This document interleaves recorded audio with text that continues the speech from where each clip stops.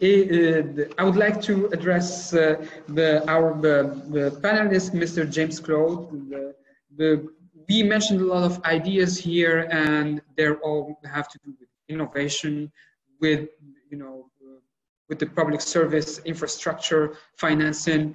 Here at the, the Amadeus think tank, we are think and do tank, and so in this regard, we are always looking for concrete ideas and measures that we would like to put in place, one of which is an idea for a platform for crowdfunding. And the, I, and the question which is, I will ask to Mr. James Claude later, but this is for all our panelists. Do you think that we all here could think about a framework for a platform that could be uh, like a basis to finance all these innovative ideas. Um, a platform for Africa, for all the South countries, with the help of international institutions.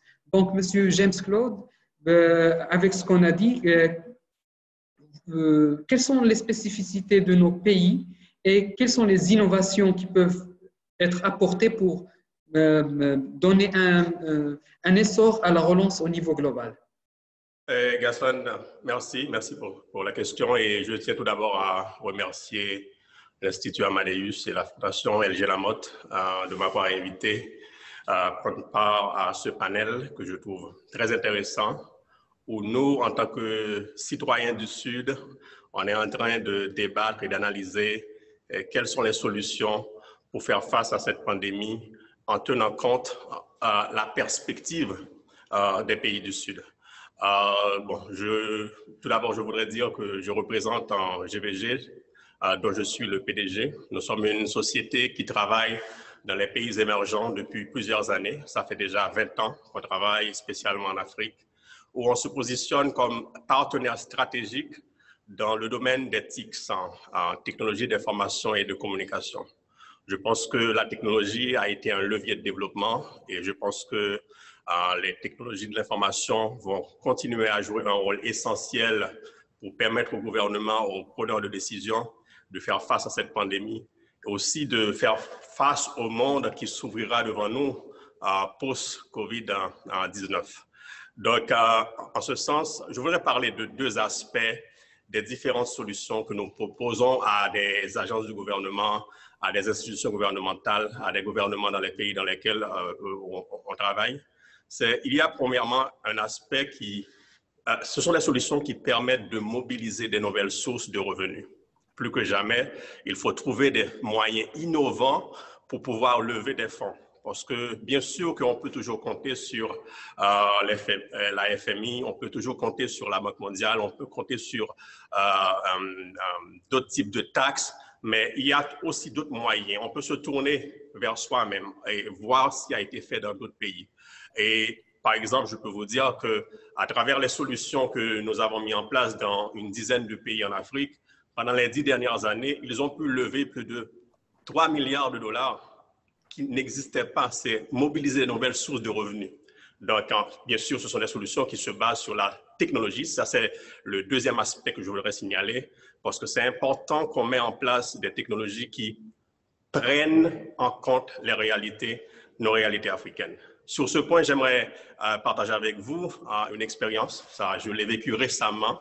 Euh, le ministre de, de, de l'économie numérique de l'un des pays dans lequel on travaille depuis déjà 5 à 6 ans, il m'a contacté pour me dire qu'est-ce qu'on peut faire avec les, données, les, les, outils qu'on a déjà en place pour pouvoir lutter de façon, au moins avoir une idée de ce qui se passe sur la propagation de, du virus. Donc, on a mis en place une équipe, on a travaillé d'arrache-pied. Et je voudrais vous présenter rapidement, c'est une vidéo de, qui va durer trois minutes.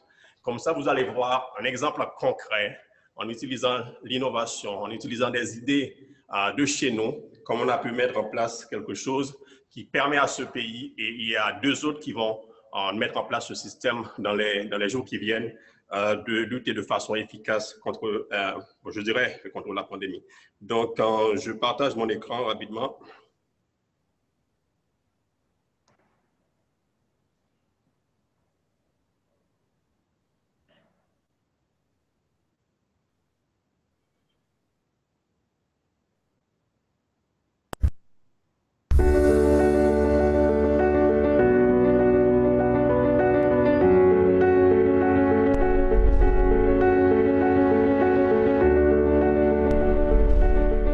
COVID-19 pandemic has shaken our understanding of the world. This global ordeal highlight of even the most resilient societies. While this pandemic has no equivalent in recent history in terms of magnitude and impact, it also evolves in a different context than other outbreaks of the past. This time, the pandemic hits a world that is increasingly interconnected through mobile networks. About 70% of the global population will be using a mobile device by 2025. This is our new mobile reality. Governments and health authorities can take advantage of this mobile reality to get a serious edge in their fight against COVID 19. Making the right decision at the right time requires timely and actionable information. That is what mobility data is all about.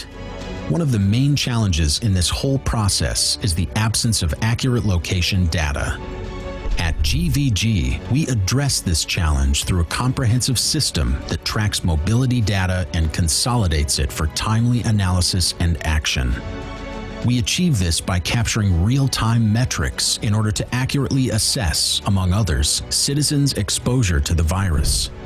The data comes directly from telecom networks and relevant mobile transaction streams. In all cases, we ensure a reliable data aggregation process centralized into a single solution. Decades before the use of mobility data as part of the fight against COVID 19, GVG has pioneered the mining of telecom data for other critical purposes. We have a long, successful track record not only in mining this data, but also in protecting it and ensuring full compliance with privacy laws. First, we host the solution in a highly secure cloud environment. The network architecture meets the requirements of the most security-sensitive criteria. Second, we ensure that IT infrastructure is aligned with the best security practices and IT standards. Third, we provide full capabilities for the anonymization of private data. GVG's solution operates through four integrated but autonomous modules. The central module integrates all four. It hosts big data analytics, runs the queries, and manages the data sets. A second module provides key reports and data on current location and location history of residents, in-country foreigners, and citizens abroad. This module also allows for the verification of quarantine compliance. A third module provides heat maps of real-time mobility patterns. These help develop predictive analysis on domestic virus spread through a live visual interface. A fourth module centralizes the massive volumes of data derived from preliminary self-diagnoses. This module works two-way. It provides and collects information, answering questions from the public and collecting self-diagnosis information, along with the geographical location of the self-diagnosed person. One cannot emphasize enough the many benefits of this data-driven solution. These include better predictive analysis, detailed virus spread statistics, effective contact tracing, improved reactivity, evidence-based decisions, timely action and response, and optimized resource management.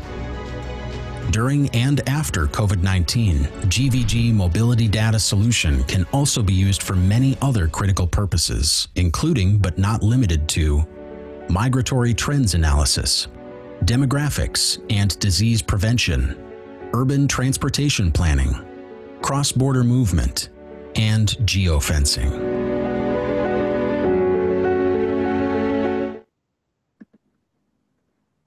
En conclusion, ce que je voudrais dire, c'est que je pense qu'il est clair, donc euh, on doit trouver des solutions euh, qui nous sont propres parce que les problèmes pour chaque pays, il y a, il y a, il y a ses particularités.